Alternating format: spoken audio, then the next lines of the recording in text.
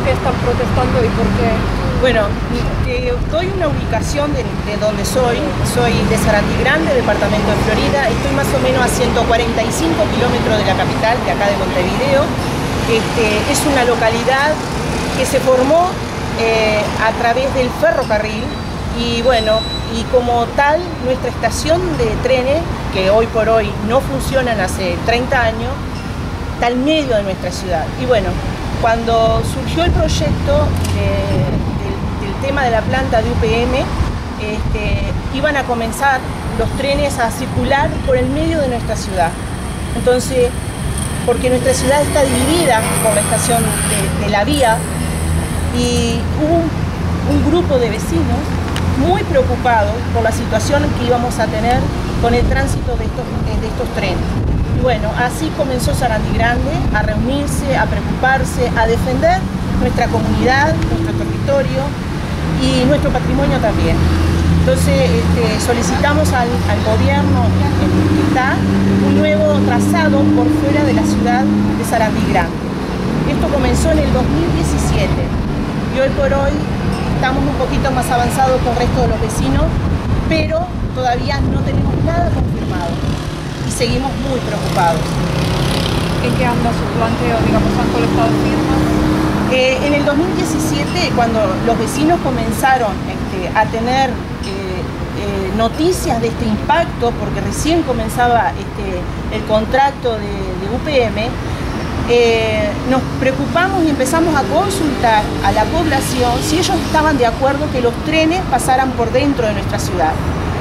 Y hubo 1.400 personas de una población de 6.000 habitantes más o menos que le dijeron que no, que él no querían este tipo de trenes por dentro de nuestra ciudad. Entonces ahí comenzamos a realizar los trámites correspondientes frente a las autoridades y que no fuimos escuchados en ese momento. En el 2018, cuando se realizó una audiencia pública en la ciudad de Florida, Florida Capital, nos enteramos que no estábamos contemplados para un bypass eh, por fuera de nuestra ciudad. Bueno, fue muy grande la indignación que tuve a nivel personal, pero también de la población. Y bueno, continuamos este, movilizándonos pacíficamente dentro de lo que marca el, marco jurídico. Nosotros nos vamos este, buscando, aplicando la constitución de nuestro país. Bajo ese marco jurídico hacemos todas las acciones. Entonces, este, y ahí Sarandí Grande, en ese entonces era el único en los 273 kilómetros, comenzamos a despertar a las otras localidades y bueno, empezó desde Sarandí. Sí, empezó desde Sarandí. ¿Y cuál es objetivo final? Es sacar el tren. Nosotros lo que queremos y el objetivo final de todas las localidades que hoy por hoy estamos pidiendo un nuevo trazado es eso, sacar el tren, este tipo de tren que es para la planta de UPM, exclusividad para la planta de UPM, un traslado que se calcula que van a pasar 14 trenes diarios, 7 trenes cargados con pasta de celulosa y 7 hacia Paso Los Toros, con ácido sulfúrico y un montón de ácidos que hoy no estamos enterando que el ácido sulfúrico, un pequeño derramamiento puede producir eh, una gran preocupación para la población, por no usar otra palabra. Pero nos tiene muy preocupado todo eso, que porque hay empresas que transportan ese ácido a través de camiones y aplican una medida de seguridad muy importante. Y hoy estamos viendo que estos trenes salen de la bahía de Montevideo cargados con ácido sulfúrico, atravesando la, la capital del país, pero también tres capitales departamentales y un montón de localidades. Y eso nos preocupa, muchísimo nos preocupa, no solo por la población, sino también porque nosotros tenemos un país totalmente productivo. El 95% de nuestro país es productivo de alimentos. Entonces, por la zona que vaya a pasar el tren, es todo producción. Producción ganadera, producción lechera, campos este, totalmente, eh, plantaciones de, de alimentos. También nos preocupa eso. Hoy por hoy estamos muy preocupados por toda la situación que se va a generar si estos trenes pasan.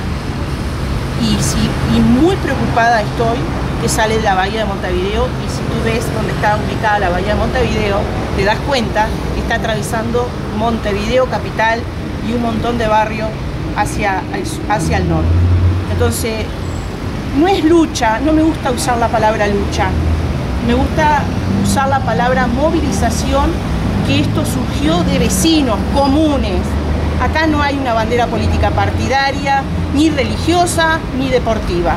Acá lo único que nos reunió fue, eh, nos motivó el bien común de las comunidades, defendiendo nuestras comunidades, porque nosotros como del interior que somos tenemos comunidades tranquilas, nos conocemos todos, es el hijo de, el hermano de, y así nos, conocemos.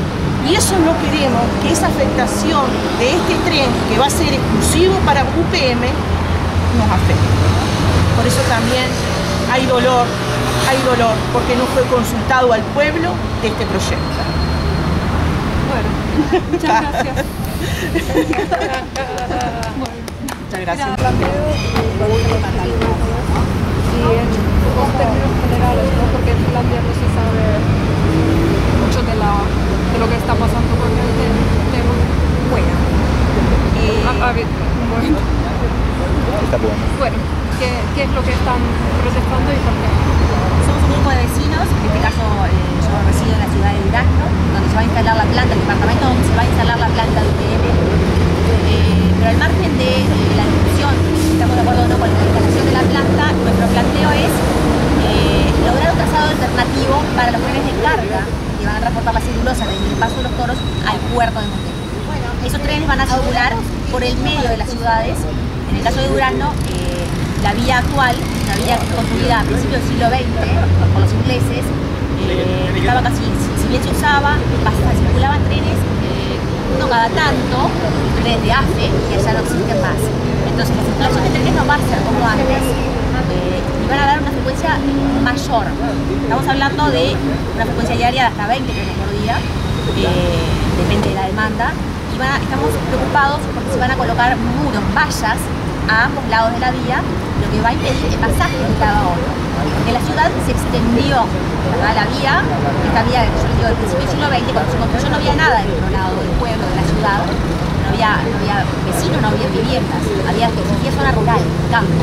Pero el día de hoy la ciudad se extendió al otro lado de la vía, hay muchos vecinos que viven del otro lado de la vía que necesariamente tienen que cruzar la vía del tren para acceder a los servicios básicos que están en el centro de la ciudad, como ser eh, el hospital, la salud, centros de trámite, estaciones de servicio de nafta, ¿verdad? de combustible, como ser eh, tránsito de trámite, no hay nada del otro lado de la vía. Necesariamente los vecinos se tienen que trasladar, esto va a afectar la movilidad urbana, ¿verdad? Porque el único pasaje libre que se prevé es un túnel en una zona, pero después el resto va a ir vallado y van a dar barreras en algunos lugares, pero no como el día de hoy, que no existe nada y los vecinos cruzan con facilidad. Entonces estamos preocupados por eso, por las, obras, las máquinas que están ingresando constantemente eh, lindero a las casas, porque hay vecinos que viven pegados a la pegados, hay vecinos que están muy preocupados, muy afligidos y que el día de hoy venimos a representarlos, ¿verdad? Eh, que tienen preocupación real, que sus casas no, han sido, no, han sido expropiadas, que tienen que dormir con un tren pegado a su dormitorio, ¿verdad? A su casa, a su vida. Van a ser tres años de obra, son eh, máquinas muy grandes que están circulando, que están entrando, que ya están eh, en la fase inicial de la obra, si bien la obra en sí no comenzó, ellos lo que hicieron desmantelar la vía actual, las vías viejas, los movimientos viejos del ferrocarril anterior activo, para empezar a construir lo que va a ser la obra del ferrocarril. Entonces, como vecinos preocupados, queremos que este, este tren, estos por fuera, que se haga una circunvalación o un bypass por fuera de la planta urbana, para que no nos afecte a los ciudadanos. Incluso puede ser beneficioso hasta para UPM, porque los trenes pueden circular más rápido, no van a tener, no tener que detener su marcha, su velocidad. Entonces, insistimos, nos contactamos con autoridades, queremos ser escuchados, estamos realmente preocupados, porque esto nos va a afectar sobremanera nuestra vida, ¿verdad? Este, esto pasa en Durazno y otras localidades que hay otros vecinos representando, pero en Durazno tenemos un doble problema porque está la ruta 5 que divide la ciudad, que al día de hoy ya están desmantelando la ruta, modificándola para la instalación de la planta de UPM, para la circulación de los camiones de tres hordas que van a circular, camiones tritrenes, que al día de hoy no existe permiso de circulación para esos trenes. Y con la instalación de la planta van a circular trenes, perdón, eh, camiones, camiones de gran porte por las rutas. Recordemos que la ruta 5 tiene un solo carril de cada lado, ¿verdad? Y es una ruta muy peligrosa. Al día de hoy es complicado circular, entonces pensamos qué sucederá en un futuro. Estamos eh, poniendo en riesgo nuestra salud, nuestra seguridad. Entonces esto queremos le llegue a, por favor, a quienes deciden, quienes toman decisiones, que piensen en los ciudadanos, porque no es justo hacer estas obras pasando por encima a la gente. Muchas gracias.